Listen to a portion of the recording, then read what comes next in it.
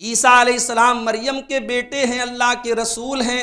अल्लाह का कलमा है जो अल्लाह ने मरियम की तरफ़ डाला और अल्लाह की तरफ़ से उनके अंदर रूह डाली गई। फ़ामिनू बिल्लाहि व रसूलिही वला तकूलू तलासतुन इंतहू खैरल्लकुम ऐ ईसाइयों, तुम अल्लाह के ऊपर ईमान ले आओ और अल्लाह के सारे रसूलों के ऊपर तुम ईमान ले आओ और ये मत कहो कि मबूद तीन हैं। वो तीन लोगों को अपना मबूद मानते ईसा सलाम को अल्लाह को, रूहुल खुदस को। वला तकूल सलासा, ये तीन मबूदों का अकीदा छोड़ दो, बाज आ जाओ, यही तुम्हारे हक में बेहतर है। इन मसल ईसा इन का मसल आदम खलकहू मिन तुराब। तुम्हें अगर ईसा सलाम के बगैर बाप के पैदा होने पर ताज्जुब हो रहा है और तुम इस वजह से उन्हें अल्लाह का बेटा करार दे रहे हो, वह ईसाइयों, तुम आदम सलाम के बारे में भी तो गौर करो। आदम सलाम को तो अल्लाह ने डायरेक्ट मिट्टी से पैदा किया था, ना माँ से पैदा हुए, ना बाप से पैदा हुए। अल्लाह इलाहा ला शरीक अला जो इस बात की गवाही दे कि अल्लाह के सिवा कोई मबूद नहीं है। वह मोहम्मद अब्दू और रसूल और जो मोहम्मद वसल्लम के अल्लाह का बंदा और रसूल होने की गवाही दे। वह अन्न ईसा अब्दुल्ला व रसूल व कलमत अलकाहा इला मरियम व रूह मिनहू। और जो इस बात की गवाही दे कि ईसा इस्लाम अल्लाह के बंदे हैं रसूल हैं और अल्लाह का कलमा है जो अल्लाह ने मरियम की तरफ डाला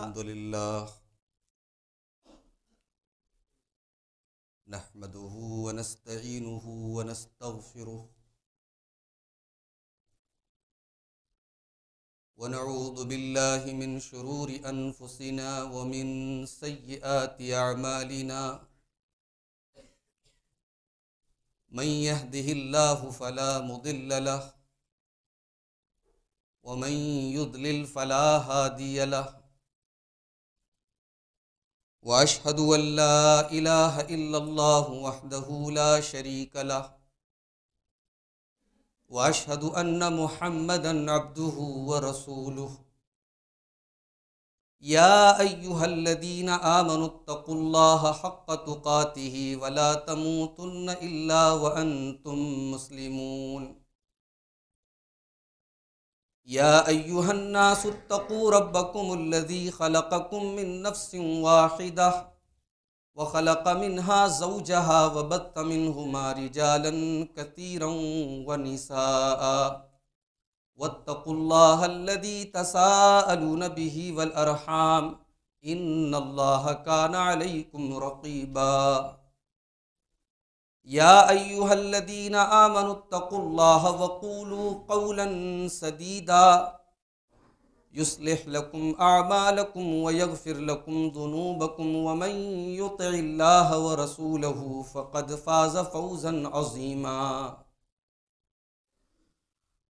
अम्मा बाद ख़ैर हदीत किताबुल्ला व ख़ैर हदी हदी महमदिन सल्लल्लाहु वसल्लम व शर्रमूर महदता तुहा वकुल्ल महदतिम बिदा वकुल्ल बिदातिन जलाल वकुल्ल दलालतिन फ़िन्नार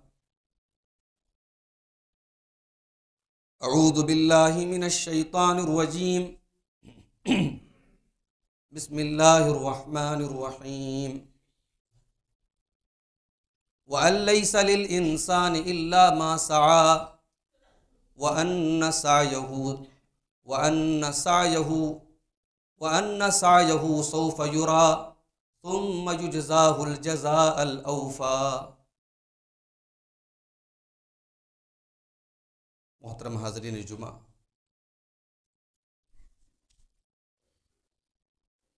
अल्लाह तबारक व ताली ने अपने नबी के ज़रिए हमें जो शरीयत दी, वो बिल्कुल वाज है। उसमें कोई पेचीदगी नहीं है। ज़िंदगी की, के सफ़र में कहीं पर भी, किसी भी मोड़ पर ऐसा नहीं है कि हमारी शरीयत हमारी रहनुमाई ना करती हो। ये हमारी शरीयत की एक स्पेशलिटी है, खासियत है। ये बिल्कुल सीधी है और क्लियर है वाज है।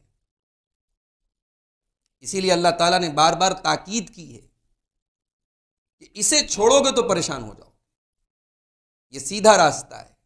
अल्लाह ने फरमाया सूर्य अनाम के अंदर वह अन्नहाजा सिराती मुस्तकीमन फतबी मेरे बंदो ये जो मेरा रास्ता है, यही सीधा रास्ता है। इसी की पैरवी करो, इसी के इसी के ऊपर चलो। वला तत्तब सुबुल। इसको छोड़ करके और रास्तों पर मत चलो। फतफर रकबकुमन सबीली, वरना तुम अल्लाह के रास्ते से भटक जाओ। तो इस्लाम बिल्कुल सीधा और सिंपल दीन है। इसमें न फजूल त्यौहार हैं, न फजूल रस्में हैं न कोई गैर संजीदा चीज़ है। हमारे दो त्यौहार हैं, वो भी बड़े सिंपल हैं, बड़े सादा हैं, उसमें कोई लहवो लईब वाला मामला नहीं है। और अल्लाह के नबी ने ज़िंदगी में तमाम भलाई की बातें हमें और आपको बता दी। और जितनी चीज़ें हमें जहन्नम से करीब करने वाली हैं, जहन्नम में लेके जाने वाली हैं, उन तमाम चीज़ों से अल्लाह के नबी ने अपनी उम्मत को रोक दिया। अल्लाह के नबी फरमाते हैं इन लई सशुन युकर्रबकुम इलल वक़द अमर तो कुम भी जो चीज़ भी जन्नत से करीब करने वाली है, मैंने तुमको बता दिया है। वही नहू लई सशुन युकर्रबकुम इलन्नार इल्ला वक़द नहाई तो और जो चीज़ जहन्नम में लेके जाने वाली है, मैं मना कर चुका हूँ, मैं बता चुका हूँ। अल्लाह के नबी के चचा हज़रत अब्बास कहते हैं कि, वल्लाहि मा मात रसूलुल्लाह सल्लल्लाहु अलैहि वसल्लम हत्ता तरक सबीला। मन हजन वाजिहा। अल्लाह के नबी का जब इंतकाल हुआ, आपने ऐसा रास्ता हमें, आप ऐसा रास्ता हमें दे करके गए जो बिल्कुल क्लियर है। वह अहल हलाल व हर्रमर हराम। तमाम हलाल चीज़ें आपने बता दी, तमाम हराम चीज़ें आपने बता दी। इस वक्त हम और आप दिसंबर, जो अंग्रेज़ी कैलेंडर का आखिरी महीना है, आज उसकी तेईस तारीख है। दो दिन के बाद ईसाई मज़हब का एक त्यौहार आता है, जिसे क्रिसमस कहा जाता है। और बदकिस्मती की बात यह है कि उस त्यौहार को हमारे बहुत सारे मुसलमान भी जो है, जो सेकुलर बनने के लिए और दोस्ती दिखाने के लिए, भाईचारा दिखाने के लिए उसकी मुबारकबाद वगैरह भी देते हैं। ये क्रिसमस का त्यौहार क्यों मनाया जाता है? ये हज़रत ईसा सलाम की पैदाइश का जश्न मनाया जाता है। ईसा सलाम कौन है? अल्लाह के जलील कद्र पैगंबर है। हमारे नबी के पहले दुनिया में वही नबी बन करके आए। हमारे नबी से पहले दुनिया में हज़रत ईसा सलाम है। हज़रत ईसा के दरमियान और हमारे नबी के दरमियान कोई फासला नहीं है। हज़रत ईसा के बाद डायरेक्ट हमारे नबी आए थे दुनिया ईसाई लोग हज़रत ईसा के बारे में यह अकीदा रखते हैं कि ईसा सलाम नवजुबिल्ला अल्लाह के बेटे वो उन्हें अल्लाह का बेटा सन ऑफ़ गॉड मानते बल्कि अल्लाह अल्लाह उनके कुछ अकीदे ऐसे भी हैं कि वो अल्लाह मानते हैं। हज़रत ईसा को अल्लाह का भी दर्जा देते हैं। उनके एक अकीदा है? तसलीस का। हज़रत ईसा, अल्लाह और रूहुल कुदस, इन तीनों को वो आपस में मिक्स कर देते कहते तीनों बराबर हैं। रूहुल कुदस से मुराद हज़रत जबरील सलाम। इस अकीदे को तसलीस का अकीदा अंग्रेज़ी में कहते ट्रिनिटी का अकीदा। हमारी शरीयत ने इस अकीदे को बातिल करार दिया। अल्लाह ने सुर निसा में फरमाया, या अहलल किताबिला तगलूफी दीनकुम वला तकूलू हक। अहल किताब, तुम अपने दीन के अंदर गुलू न करो और अल्लाह के बारे में कोई ऐसी बात न करो जो गलत है, जो ना हक है। इन नमल मसीह सबन मरियम रसूल व कलिमतहू अलकाहा इला मरियम वरूह मिनहू। ईसा सलाम मरियम के बेटे हैं, अल्लाह के रसूल हैं। अल्लाह का कलमा है जो अल्लाह ने मरियम की तरफ़ डाला और अल्लाह की तरफ़ से उनके अंदर रूह डाली गई।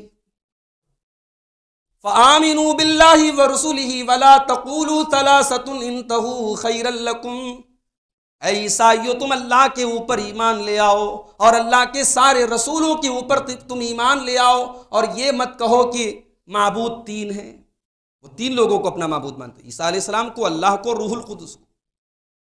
वला तकूल सलासा, ये तीन मबूदों का अकीदा छोड़ दो, बाज आ जाओ, यही तुम्हारे हक में बेहतर है। इन्नम वाहिद, अल्लाह ही तुम्हारा अकेला मबूद है। मा यकून लहू सुबहान मा यकून लहू अन लहू वलद। अल्लाह ताला इस बात से पाक है कि उसका कोई बेटा हो। लहू माफिसमावाति व माफिल व कफ़ा बिल्लाहि वकीला। वो ज़मीन व आसमान की तमाम चीज़ों का मालिक है। यह है कुरान का साफ़ सुथरा कि हम ईसा को अल्लाह का रसूल मानते हैं। अल्लाह का बेटा नहीं मानते।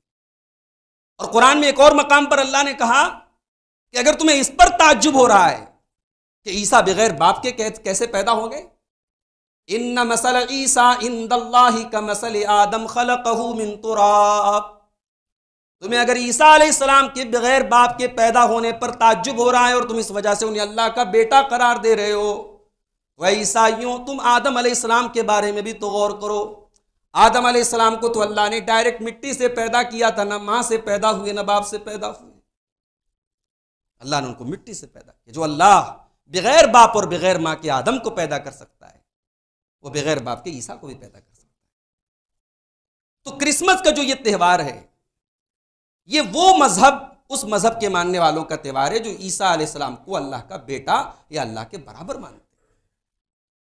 और इस्लाम के नज़दीक ये कुफ्र है, ये दुनिया का सबसे बड़ा पाप है, दुनिया का सबसे बड़ा गुनाह है कि हम किसी को अल्लाह का बेटा करा और यही वजह है कि, कयामत के दिन अल्लाह की बारगाह में अल्लाह ताला हज़रत ईसा से सवाल करेगा अंतकुलतलिन्नासितखिजूनी व ऐसा क्या तुमने लोगों से ये कहा था कि मुझे अल्लाह को छोड़ करके माबूद बना लेना? हज़रत ईसा जवाब देंगे सुबहान कमा यकूली मा यकूनली अन अकूल मा सली बेहकिन हज़रत ईसा कहेंगे, अल्लाह, तू पाक है अय अल्लाह, मुझे इस बात का क्या हक है कि मैं कोई ऐसी बात करूँ? मैं तेरी बात, तेरे बारे में कोई ऐसी बात कहूँ जिसका मुझे, जिसको मुझे हक नहीं है? इन कुन तो कुल तो अय अल्लाह, अगर ये बात मैंने कही है तो तू जानता है। तालम मा नफसी वाला आलम माफ़ी नफसी का तेरे तेरे, मेरे दिल में क्या है ये तू जानता है। लेकिन अः अल्लाह, तू क्या चाहता है ये मैं नहीं जानता। इन कांता अल्लाहजूब तू तो तमाम गैब की बातों को जानने वाला है। मा कुलतुलहुम इल्ला मा अमरतनी अने रब्बी व रब्बकुम। अय अल्लाह, मैंने अपनी कौम को यही पैगाम दिया था कि एक अल्लाह की इबादत करो, जो तुम्हारा भी रब है, जो मेरा भी रब है।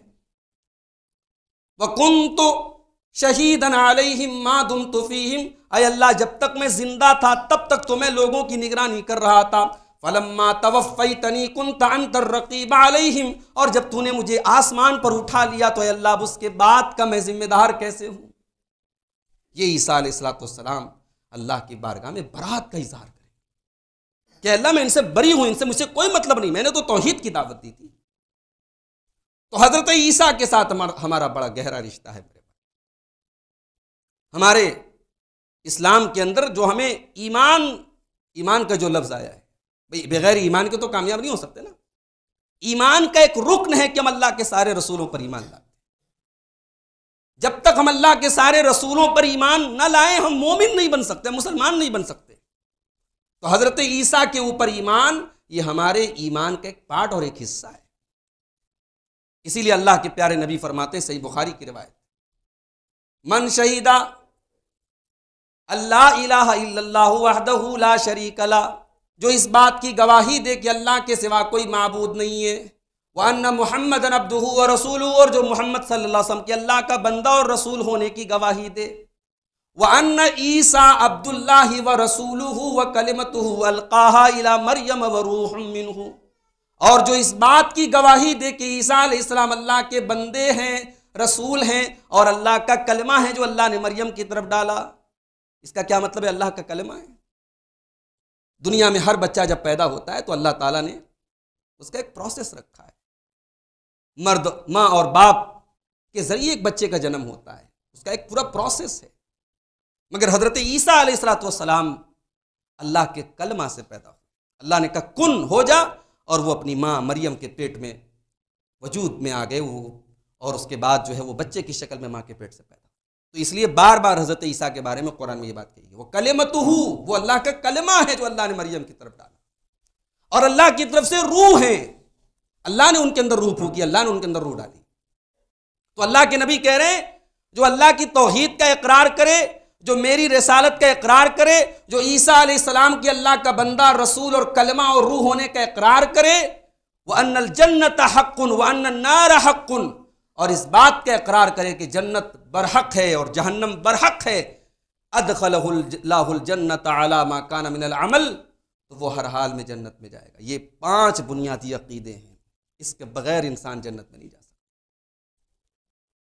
ईसा सलाम की पैदाइश का वाक़ अल्लाह ने बड़ी तफसील के साथ सुर मरियम में बयान किया।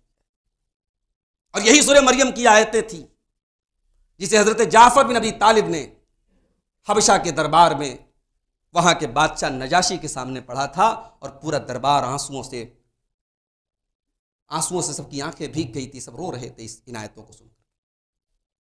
कभी उठाइए कुरान करीम में, देखिए हज़रत ईसा की पैदाइश का वाक्य, बड़ा दिल नशी अंदाज है कुरान का। वजगुर फिल किताबी मरियम, इदिन तबजत मिन आहलिहा मकानन शर्किया। किताब में याद करो मरियम को जब वो बैतुल मुकद्दस के मशरकी साइड में, पूर्वी साइड में अलग होकर के अल्लाह की इबादत में लग गई। इज़ अरसलना इलेहा रूहाना फतमसलहा बशरन सविया। हमने जिब्रील को एक इंसान की शक्ल में उनके पास भेजा। औलत इन्नी अऊदुबिर्रहमान मिन का इनकुन तकिया। मस्जिद के अंदर अकेले में हज़रत मरियम अल्लाह की इबादत कर रही हैं। अचानक एक इंसान को देख करके वो डर जाती हैं और कहती हैं, मैं अल्लाह की पनाह तलब करती हूँ, मैं रहमान की पनाह तलब करती हूँ, अगर तुम मुत्तकी हो परहेजगार हो तो मुझसे दूर रहो। एक इज्जतदार, एक पाक दामन औरत का जो किरदार था वो हज़रत मरियम ने पेश किया।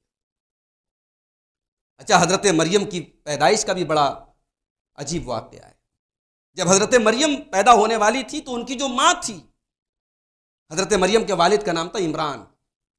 तो इमरान की जो बीवी थी, हज़रत मरियम की माँ, उन्होंने ये नज़र मानी थी कि अगर मुझे लड़का हुआ, बेटा हुआ तो अय अल्लाह, मैं तेरे दिन के लिए लगा दूँगी। आज कहाँ कोई माँ ये सोचती है मेरे भाई? आज तो माओ का सपना होता है कि मैं अपने बच्चे को डॉक्टर बनाऊँगी, वकील बनाऊँगी, ये बनाऊँगी, वो बनाऊँगी। वो माएँ खत्म हो गई जो ये मन्नत माना करती थी, ये नज़र माना करती थी, ये आरज़ू करती थी कि अल्लाह, मैं अपने बेटे को तेरे दीन तेरे दीन का खादिम बनाऊँगी। मरियम की माँ ने नज़र मानी कि मेरा बेटा होगा तो मैं तेरे दीन में लगा दूँगी। और जब पैदाइश हुई तो बेटी पैदा हुई तो मायूस हो गई कि बेटी कैसे दीन की खिदमत करेगी? बेटी कैसे अल्लाह वाली बनेगी? अल्लाह ने फरमाया लई सजकर कल उनसा। अय मरियम की माँ, अगर तुझे बेटा होता तो वो इस लड़की की तरह ना होता। इसमें एक बहुत बड़ा इशारा है कि अगर अल्लाह किसी को बेटी दे तो वो मायूस ना हो। बहुत सारी बेटियाँ ऐसी हैं जो बेटों से बढ़ के होती हैं। ये तो अल्लाह अल्लाह का इख्तियार है, अल्लाह जिसको चाहता है बेटा देता है, जिसको चाहता है बेटी देता है। किसी को बेटा है तो वो खुश नसीब है और किसी को बेटी है तो बदनसीब है, ऐसा नहीं है। अल्लाह ने कहा, वलई सज्ज करो कल उनसा आए मरियम की माँ, ये बेटी जो तेरी है, ये आम आम बेटियों की तरह नहीं है। अगर बेटा होता तो ऐसा ना होता। उसका नाम मरियम रखा गया। और उसके बाद जब हज़रत मरियम की माँ का इंतकाल हो गया, तब सवाल हुआ कि मरियम की परवरिश कौन करेगा? तो इनकी परवरिश का जिम्मा लिया इनके खालू ने जो अल्लाह के बड़े जलील कदर पैगंबर थे, हज़रत जकरिया और मस्जिद में रहते थे। एक बात पर गौर कीजिएगा, कुरान करीम में हज़रत जकरिया का जहाँ भी नाम आया है, उसके आसपास में मेहराब का नाम ज़रूर आया, मस्जिद का नाम ज़रूर आया।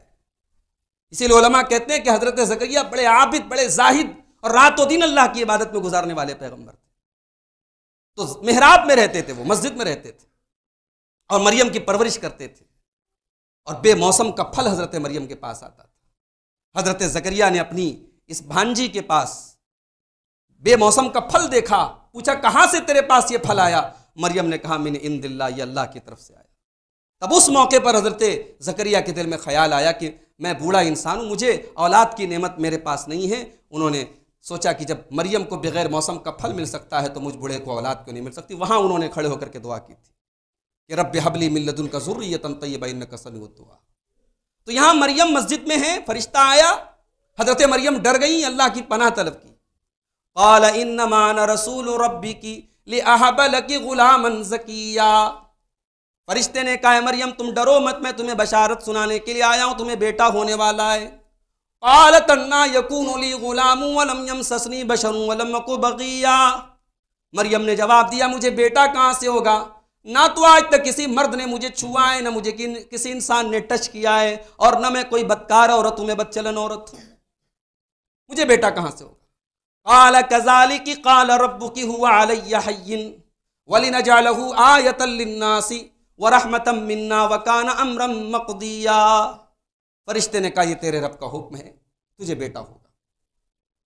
फहमल तुफन तबजत मकानन कसिया।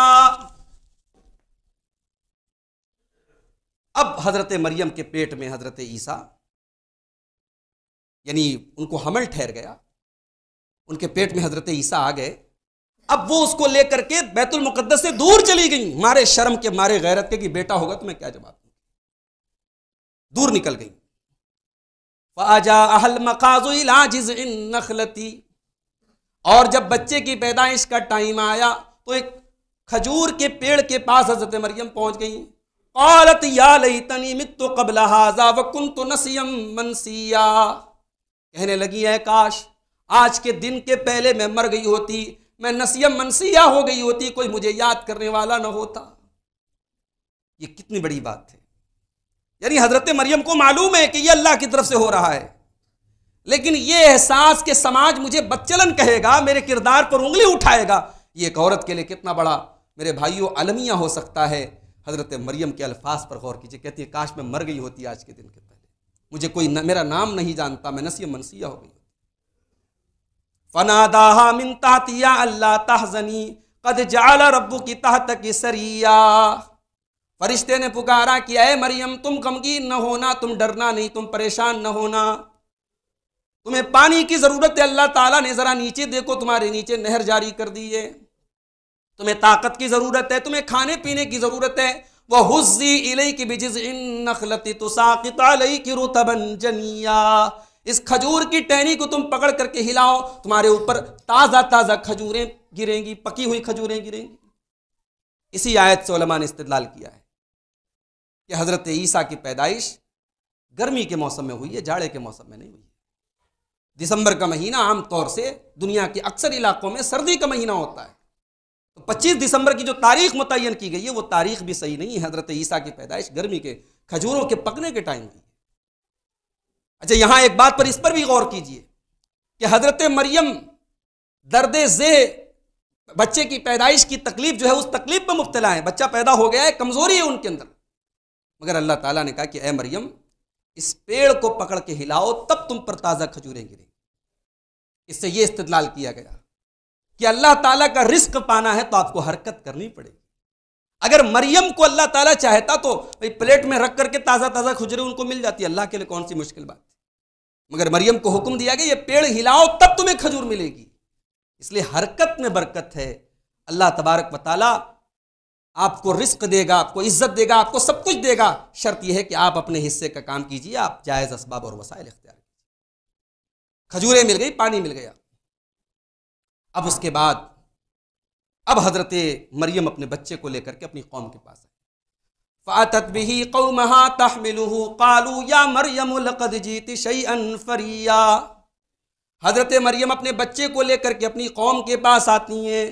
बच्चे को कुंवारी मरियम की गोद में देख करके कौम के लोग कहते हैं कि अय मरियम, तूने तो बहुत बड़ा पाप किया, तूने बड़ा संगीन काम किया। या उख्त हारून, माँ का नाबू किमरा सौ माँ का तुम की बगिया। अय हारून की बहन, ना तो तेरा बाप बद चलनता, ना तेरी माँ बद चलनती, तू कैसे निकल गई? ये भी बड़ी प्यारी बात है। यहाँ तीन रिश्तों का नाम लिया गया। भाई का, माँ का, बाप का। घर में औलाद की तरबियत में ये तीन त्रिकोण बड़ा बड़ी बड़ी अहमियत रखते हैं। भाई, माँ और बाप। बच्चियाँ अगर बिगड़ती हैं तो इन तीनों की बेतवजही से बिगड़ती हैं। मरियम मरियम की कौम ने मरियम के किरदार पर उंगली उठाई तो तीन लोगों का नाम लिया। कहा तेरा बाप ते, ते, तू तो हारून की बहन है। अब ये हारून वो हज़रत मूसा के भाई हारून नहीं कोई दूसरे हारून है। मगर बहरहाल कोई नेक आदमी थे मुआज़ आदमी थे। उनका नाम लेके कहा कि अरे हारून की बहन ना तो तेरा बाप बच्चलन था ना तेरी माँ बच्चलन थी तूने ये काम कैसे कर दिया? अब अल्लाह ने हुक्म दिया था मरियम को तुम्हें बोलना नहीं है। तुम्हें तीन दिन तक इशारों में बात करनी है। तीन दिन तक तुम ज़ुबान से लोगों से कोई बात नहीं करोगी। इशारों में बात करोगी। फ़ाशारती लई हज़रत मरियम ने अपने बच्चे की तरफ़ इशारा किया। कालू कैफन मुमन का नफिल महदी सबिया। कौम के लोगों ने कहा कि हम गोद में पल रहे बच्चे से, दूध पीते बच्चे से क्या बात करें? तू जवाब दे। तू अपनी बच्चलनी पर पर्दा न डाल। तो इस बच्चे की तरफ़ इशारा कर, हम इस बच्चे से क्या बात करें? अब अल्लाह तबारक व ने अपनी माँ के किरदार पर लग रहे इस धब्बे को धोने के लिए उस मासूम बच्चे को, जिसे ईसा इब्न मरियम कहा जाता है, उस बच्चे को अल्लाह ने कुत गोयाई दी। मोजा हुआ, हज़रत मूसा, हज़रत ईसा अपनी माँ की गोद से बोल पड़े। क्या बोले? आल अब्दुल्ला कहा है, लोगों, मैं अल्लाह का बंदा हूँ। मैं अल्लाह का बंदा हूँ आतानियल किताब। अल्लाह ने मुझे किताब, यानी इंजी लता फरमाई है। वजालनी नबी या और अल्लाह ने मुझे नबी बनाया है। ईसा सलाम बचपन में माँ की गोद में नबूत पा गए। यही वो कह रहे हैं, मुझे नबी बनाया गया है। वजालनी मुबारकन नमा कुंतु, और अल्लाह ने मुझे बरकत वाला बनाया, मैं जहाँ भी रहूँ। वाउसानी बिसलाती व जक़ाती मादुम तो और मैं जहाँ पर भी रहूँ, अल्लाह ने मुझे नमाज़ और जक़ात का हुक्म दिया है। ईसा सलाम की ज़ुबान से पहला लफ्ज ये निकला कि मैं अल्लाह का बंदा हूँ। और आज ईसाई कहते हैं कि हम ईसा से बड़ी मोहब्बत करते हैं। जो कौम ईसा से मोहब्बत का दावा करती है और जो ईसा की पैदाइश का जश्न मनाती है, वो ईसा सलाम की ज़ुबान से निकले पहले लफ्ज का इनकार करती है। वो ईसा को अल्लाह का बंदा नहीं, अल्लाह का बेटा मानती है। यही फ़र्क है मुसलमानों में और उनके दरमियान। पहला जुमला ईसा इस्लाम की ज़ुबान से क्या निकला? मैं अल्लाह का बंदा हूँ। अल्लाह ने मुझे किताब दी और मुझे नबी बनाया। और आगे बड़ी प्यारी बात कहते हैं। कहते हैं, वबर्रम भी वालिदती और अल्लाह ने मुझे अपनी माँ बाप अपनी माँ के साथ अच्छा सलूक करने का हुक्म दिया। मुझे अपनी माँ के साथ हुसन सलूक करने वाला बनाया। वलम यजअलनी जब्बारन शकिया। अल्लाह ने मुझे जब्बार नहीं बनाया, मुझे जालिम नहीं बनाया, शकिया मुझे बदबख्त नहीं बनाया। उलमा कहते कि यहाँ इन दोनों जुमलों में बड़ा गहरा ताल्लुक है। जो अपनी माँ के साथ बदसलूकी करता है, वो आम तौर से जब्बार और शकी होता है। वो जालिम होता है, वो बदनसीब होता है, वो शकी होता है। और जो अपने माँ बाप के साथ उसने सलूक करता है, अल्लाह ताला उसे नबियों की अखलाक अता करता है। तो ये ईसा सलाम की पैदाइश का ज़िक्र है मेरे भाई। हमारा अकीदा इस पर है। लेकिन आज क्रिसमस का त्यौहार मनाने वाले हज़रत ईसा सलाम को अल्लाह का बेटा मानते हैं। अब ये जो अल्लाह को बेटा मानते हैं, ये अल्लाह की नज़र में कितनी खराब बात है इसको भी सुर मरियम के अंदर देखिए। वकाल रहमान वलदा लकद जी तुम शई अन इद्दा तकादुस्समा वातु तकादुस्समावातु यतफत्तर नमिनहु व तनशक्कुल अर्दु व तखिर्रुल जिबालु हद्दा अंदाउलिर रहमानी वलदा। क्या अंदाज है कुरान का? ऐसा लग रहा है अल्लाह डांट रहा है। अल्लाह डांट रहा है इस, इस अंदाज में एक डांट है। वकाल तखजर रहमान वलदा। ये लोग कहते हैं कि रहमान ने औलाद बना ली रहमान ने बेटा बना लिया। लकद जी तुम शैन इद्दा तुम बड़ी खतरनाक और बड़ी बदतमीजी की बात अपनी ज़ुबान से निकाल रहे हो। तकाद उस समावात या तफत्तर न मिलू करीब है कि इस बात पर आसमान फट पड़े। वतन शक्ल अर्ज़, ज़मीन शक हो जाए। व तखिर जिबाल हद्दा, और पहाड़ गिर पड़े। अनदाउल रहमानी वलदा। तुम अल्लाह के लिए, रहमान के लिए बेटा बना रहे हो। इन कुल्ल मनफिस समावाति वलरजिल्ला आतिर रहमान अब्दा। ज़मीन व आसमान में जितने हैं, सब कयामत के दिन रहमान के बंदे बनकर के अल्लाह की बारगाह में आएँगे जो दुनिया में अपने आगे सर झुकवाते थे, जो दुनिया में अपने आप को रब कहते थे, वो भी कयामत के दिन अल्लाह की बारगाह में उसके बंदे बन करके आएँगे, जलील होकर के आएँगे। तुम कहते हो, ईसा अल्लाह के बेटे तो ये मेरे भाइयों, हमारा अकीदा नहीं है। इसलिए हमारे वो भाई जो सेकुलरिज्म और अपने आप को लिबरल साबित करने के लिए सोशल मीडिया पर या अपने दोस्तों को या अपने जो है ताल्लुक़ रखने वालों को वो क्रिसमस की मुबारकबाद देते हैं। या बाकायदा ऐसे स्कूलों में उनके बच्चे पढ़ते जहाँ ये त्यौहार मनाया जाता है और वो शामिल होते हैं इनके फ़ंक्शंस में। खबरदार खबरदार इन तमाम चीज़ों से परहेज करें। हमारे नज़दीक हज़रत ईसा सलाम के बारे में ये अकीदा, कुफरिया अकीदा है और इस अकीदे की बुनियाद पर क्रिसमस मनाया जाता है। इस त्यौहार में किसी भी तरीके की शिरकत एक मुसलमान के लिए जायज़ नहीं। अब यहाँ एक बात और याद रखिए। ईसा आसमाम के बारे में ईसाई एक और अकीदा रखते हैं। वो जो जीसस क्राइस्ट बोलते हैं ना, क्राइस्ट का मतलब होता है मसीहा, नजात देने वाला। वो कहते हैं कि ईसा सलाम सूली पर चढ़ गए। सारी इंसानियत के जुर्म को उन्होंने अपने सर पर ले लिया, क्योंकि वो अल्लाह के बेटे थे। अल्लाह ने अपने बेटे को सूली चढ़वा करके सारी इंसानियत के पापों को धुलवा दिया। अब जिस जिसने कोई पाप किया है, बस वो ईसा सलाम का नाम ले ले, क्योंकि उसके गुनाहों की सज़ा तो ईसा सलाम पा चुके ये अकीदा, एक तो हज़रत ईसा की शान के भी खिलाफ है। और दूसरे अल्लाह का एक उसूल है वह इंसान मासा इंसान को वही मिलेगा जो वो खुद करेगा। वला तजर वाजर तुम विजरा उखरा, कोई दूसरे का बोझ नहीं उठाएगा। हमारे गुनाहों का बोझ नऊजबिल्ला हज़रत ईसा नहीं उठा सकते। हमारे हिस्से का बोझ हमारा कोई पीर, कोई मौलवी, कोई आलिम नहीं उठाएगा। हर शख्स अपने अमल का जिम्मेदार होगा। जाहिल अपने अमल का जिम्मेदार होगा, आलिम अपने अमल का जिम्मेदार तो कोई ये ना कहे कि हमारे गुनाह तो फला साहब उसका जिम्मा ले लेंगे, फला साहब हमें बचा लेंगे। नहीं, ला तजर वाजरत उखरा, कोई किसी का बोझ नहीं उठाएगा। अब ईसा सलाम को सूली देने की कोशिश ज़रूर की गई थी, लेकिन अल्लाह ने क्या फरमाया? वमा कतलू वमा सलबू। ना तो उन्होंने ईसा सलाम को कत्ल किया, ना तो उनको सूली पर चढ़ाया। बर रफ़ाही बल्कि अल्लाह ताला ने ज़िंदा उनको आसमान पर उठा लिया। ज़िंदा आसमान पर उठा लिया। और क़यामत के पहले हज़रत ईसा सलाम दुनिया में आएँगे। उस पर भी बड़ी तफसील है। क़यामत की निशानियों में से, बड़ी निशानियों में से एक निशानी ये भी है। अल्लाह के प्यारे नबी फरमाते बुखारी और मुस्लिम की रिवायत है, उस अल्लाह की कसम जिसके हाथ में मेरी जान है, ईसा इब्न मरियम ज़मीन पर आएँगे। ज़मीन पर आएँगे फ़यक सलीब और सलीब को ख़त्म करेंगे, सलीब को तोड़ेंगे। ईसाई ईसाई, ईसा ईसा इस्लाम के नाम पर ईसाइत बनी और सलीब बनी है, उस सलीब को, क्रॉस को तोड़ेंगे।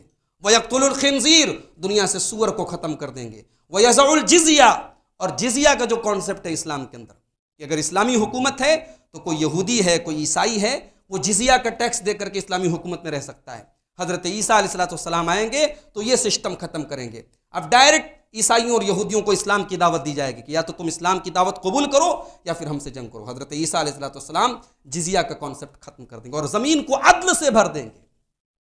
ज़मीन में खैर बरकत नाजिल होगी, अदल इंसाफ का जहूर होगा। और यहाँ ये बात भी याद रखिए कि हज़रत ईसा जब आएँगे तो वो बतौर नबी नहीं आएँगे। हज़रत ईसा हमारे नबी के उम्मती बन करके आएँगे। हमारे नबी की शरीयत के ताबे बन करके आएँगे। सही मुस्लिम की रवायत है, जब हज़रत ईसा आएँगे तो मुसलमानों की मस्जिद का जो इमाम होगा चूँकि वो दमश की मस्जिद में दमश की मस्जिद में आसमान से उतरेंगे। तो वहाँ जो मस्जिद का इमाम होगा, वो उनसे कहेगा सल ले लना, आप आकर के हमें नमाज़ पढ़ाइए। तो हज़रत ईसा कहेंगे, नहीं, बाज़ुकुम अला बाज़ुकुम अमीर। तुम में से बास बास का इमाम है, मैं तुम्हारी इमामत नहीं कर सकता। तकरमत तकरमत हाजिलुम्मा ये अल्लाह ताला ने सुम्मत को ये मकाम दिया है मेरे भाई। तो क्रिसमस का त्यौहार, यानी ये इस अकीदे को इंडिकेट करता है, और हम इस अकीदे से बरी हैं। और 25 दिसंबर के चार पाँच दिन के बाद फिर नया साल भी मनाया जाता है। नया साल के इस जश्न में हमारे बहुत सारे मुसलमान भाई भी शामिल होते हैं। बड़े बड़े होटलों में बाकायदा बड़े महँगे टिकट के ज़रिए होटल बुक होते हैं, नाच गाना होता है, शराबें पी जाती हैं। पहली बात तो ये कि हमारा जो इस्लामी कैलेंडर है, हमें उसका नया साल मनाने की इजाज़त नहीं है। उस पर कोई जश्न मनाना, मनाने का सबूत नहीं है कुरान हदीस में तो ये तो हमारा इस, इस्लामी कैलेंडर है भी नहीं। और दूसरी बात ये कि अगर 2022 जा रहा है और 2023 शुरू हो रहा है तो मेरे भाई, ये खुशी की बात नहीं है। ये तो सोचने की बात है। ये तो गौर करने की तो इबरत की बात है कि हमारी ज़िंदगी का एक साल और कम हो गया। अपनी मौत से हम एक कदम और करीब हो गए। हमारी किताब हयात का एक वर्क और निकल गया और हम जश्न मना रहे हैं। अब्दुल्ला इब्न मसूद कहा करते थे, माँ नदीम तो अला शई नदमी अला योमिन तगरबफ़ी शमसु न कसफ़ी अजली वलम यजदत फ़ी अमली। कहते हैं, मुझे कित मुझे कभी उतना अफसोस नहीं होता जितना अफसोस मुझे उस दिन होता है जिस दिन सूरज डूब जाए और मेरी ज़िंदगी का एक दिन कम हो जाए और मेरे अमल में कोई इजाफा ना हो। आपके रोज की ज़िंदगी में हर दिन कोई नया अमल आपका होना चाहिए। आपकी किसी नेकी में इजाफा होना चाहिए। आपके कोई गुनाह में कमी आनी चाहिए। अगर ऐसा नहीं है तो अब्दुल्ला बिन मसूद अफसोस ज़ाहिर किया करते थे। मेरे भाइयों, हमारी ज़िंदगी की औकात, हमारी पूंजी है, हमारा कैपिटल है। और जैसे जैसे हमारा दिन गुजर रहा है, साल गुजर रहा है, हमारा ये कैपिटल ख़त्म हो रहा है। हमारी ज़िंदगी बर्फ़ की तरह है। बर्फ़ घुलती चली जाती है तो उसकी पूंजी ख़त्म होती चली जाती है। हमारी ज़िंदगी का जो नया साल आ रहा है, ये हमें और हमारी ज़िंदगी को और कम कर रहा है। ये जश्न मनाने का मौका नहीं, ये गौर करने का मौका है, ये एहतसाब का मौका है, ये अपने आप को जांचने का मौका है, अपनी कमियों को सुधारने का मौका है और अपनी अच्छाइयों में इजाफ़ा करने का मौका है। रब्बुल से दुआ है आलमीन हम सबको इन खुराफात से अल्लाह ताला दूर रखे। हम सबको नेकी के अमल, नेकी के काम करने की तोफ़ी अता फ़रमाए। अल्लाह हर शर से हम सब की हिफाजत फ़रमाए। अल्लाह किताब सुन्नत पर हम सबको चलने की तोफ़ी अता फ़रमाए। हमारे वो भाई जो दीन के मामले में, तोहद के मामले में किसी किस्म की मुदाहनत, किसी किस्म के ढीलेपन के शिकार हैं, अल्लाह उनको तोहद के मामले में मज़बूत बनाए। अल्लाह हम सबको किताब सुन्नत पर ज़िंदगी की आखिरी सांस तक चलने वाला बनाए। जो हमें बीमार हैं, अल्लाह उनको शफा कामिल हाजिर अता फ़रमाए। जो रोज़ी रोटी से परेशान है, अल्लाह उनके कारोबार में बरकत नसीब फरमाए। अल्लाह जब तक हमें दुनिया में ज़िंदा रखे, इस्लाम पर ज़िंदा रखे और हम सब का खात्मा ईमान पर हो। आमीर वाखुरदावान अलहमदिल्ला रबीआलम